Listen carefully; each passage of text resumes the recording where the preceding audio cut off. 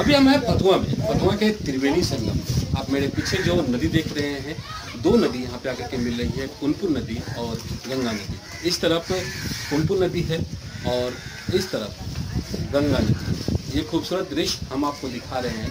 त्रिवेणी संगम, यहाँ से लोग जल उठा करके बराबर पहाड़ जाते हैं कांवड़ लेकर के वहाँ पे बाबा भोलेनाथ का जलाभिषेक करने के लिए। अभी इसकी स्थिति यहाँ पे सुरनाटा है क्योंकि लॉकडाउन चल रहा है सावन का महीना है, फिर भी यहाँ पर जल ले जाने वाला कोई नहीं है। चलिए इस घाट की, का, घाट का जो सौंदर्यीकरण किया गया है, वो आपको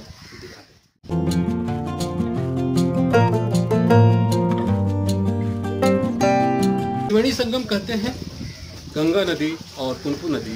गंगा नदी नदी अभी यहाँ पे स्थिर दिख रही है और गंगा और पुनपु नदी का संगम होता है और संगम में सरस्वती नदी जो है, वो विलुप्त है यहाँ पर। ये देख सकते हैं खूबसूरत सा दृश्य हम आपको दिखा रहे हैं। इस तरफ़ राघोपुर प्यारा है, ये उस पर जो आप देख रहे हैं और इस तरफ़ खतुआ, पटना ज़िले का पूर्वी द्वार ये दृश्य हम आपको दिखा रहे हैं, खतुआ। आप देख रहे हैं।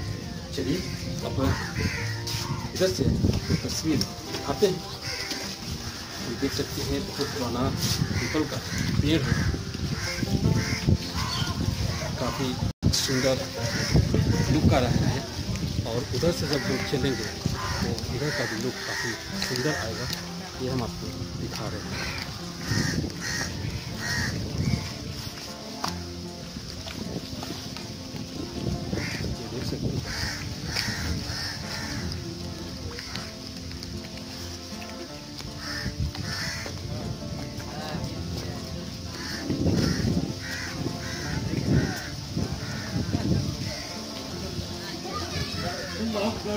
सकते रहा था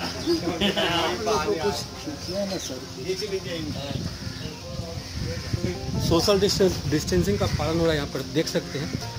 ये त्रिवेणी संगम पे लोग डिस्टेंस बना करके बैठे हुए हैं, लेकिन कुछ लोग मास्क नहीं पहने हैं। मास्क पहनना चाहिए। ये देख सकते हैं।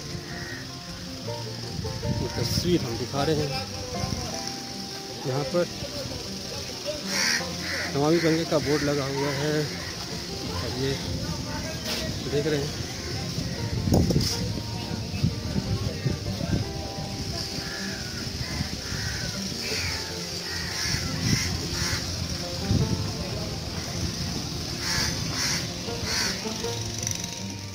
इस घाट की एक धार्मिक मान्यता है और यहाँ पर तीन नदियों का संगम उम्मीद है आपको त्रिवेणी का ये वीडियो अच्छा लगा होगा।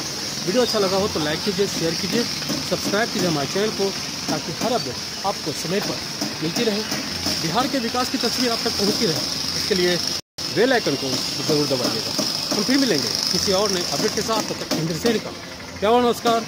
जय भारत। जय बिहार।